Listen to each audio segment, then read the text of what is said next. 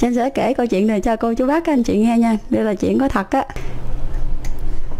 Một người ông ngồi dạy đứa cháu thôi. À, Một cái đứa cháu trai Với cái giọng hiền lành rung rung Bởi vì ngoài 80 tuổi rồi Ông nói là Con có biết không? Thượng đế cấu tạo cơ thể con người một cách rất là hợp lý Nhưng không phải là không có sai sót. Người cháu mới ngồi đang bóp tay cho ông. Thì mới hỏi ừ, sao mà có sai sót vậy ông? Vậy ông giải thích cho cháu hiểu đi. Ông lão rất là hiểu biết, rồi bắt đầu câu chuyện.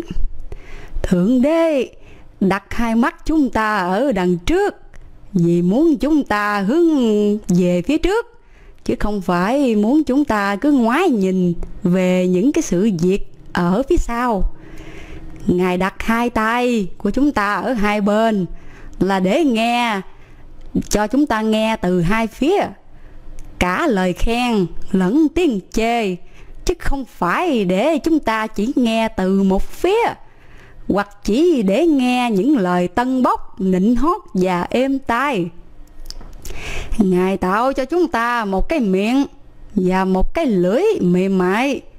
Vì muốn chúng ta nói ít nghe nhiều và chỉ nói những lời khôn ngoan, chứ không phải để chúng ta nói nhiều hơn nghe và nói những lời sâu hiểm để tổn thương người khác. Rồi thượng đế đặt bộ não của chúng ta trong cái hộp sọ rất là vững chãi, vì muốn chúng ta nên tích lũy tri thức. Những thứ chẳng ai có thể lấy đi chứ không phải chỉ chăm lo tích lũy những cái của cải bên ngoài cơ thể.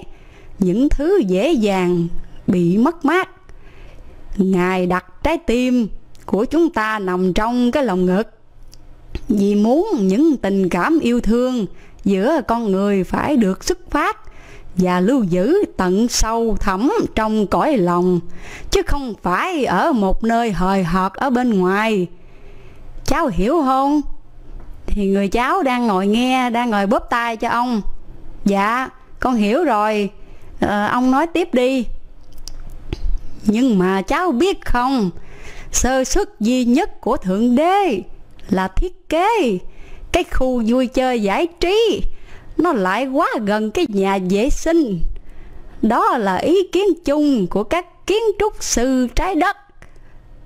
Nhưng một câu hỏi được đặt ra nên đặt khu vui chơi giải trí ở chỗ nào trên cơ thể.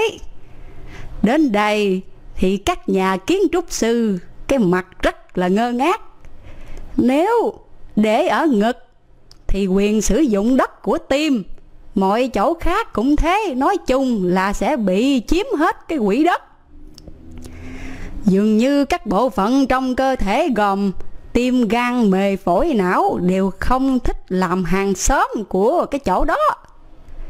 Chỉ có miếng đất giáp ranh thừa thẹo ở cái ngã ba hán, cho tạm trú là hợp lý nhất. Tình hình mất trật tự trị an, mất vệ sinh nghiêm trọng. Ở địa bàn này, mấy nghìn năm nay không có ai khắc phục được. Nguyên nhân miếng đất đó thiếu ánh sáng mặt trời. Môi trường ẩm ướt. Điều lạ nhất là khối kẻ lại chết vì cái chỗ đó. Mới lạ chứ. Số lượng không thể thống kê được.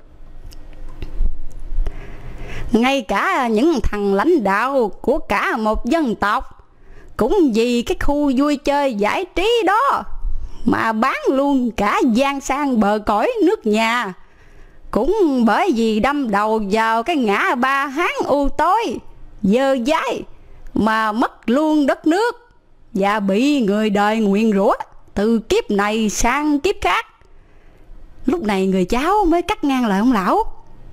Ông ơi, ông nói đúng á, mấy bữa nay con nghe rất là nhiều về cái thằng đồng vèo, cái thằng dững cái thằng giáp, cái thằng giáp cai đẻ cái thằng cái thằng linh thú thú linh gì đó và cái thằng phiêu diêu gì đó trên facebook âm ĩ ông có biết cái thằng đó là ai không? Người ông trả lời ông có nghe và biết gốc gác của mấy tên đó hết chúng đều từ à, những cái hang bắt bó được gọi là khỉ rừng trường sơn. Riêng cái thằng phiêu diêu gì đó cũng nổi danh bán nước vì cái ngã ba hán và nghe nói nó đã đi phiêu diêu miền đỏ lạc rồi. Đứa cháu hỏi miền đỏ lạc là cái miền gì vậy ông? Người ông trả lời miền đỏ lạc nó hơi dài để lần sau rồi ông sẽ giải thích cái miền đỏ lạc cho con nghe. À, thứ ba ông sẽ giải thích cái miền đỏ lạc cho nó rõ ràng. Đó xin kể cho cô chú và các anh chị nghe.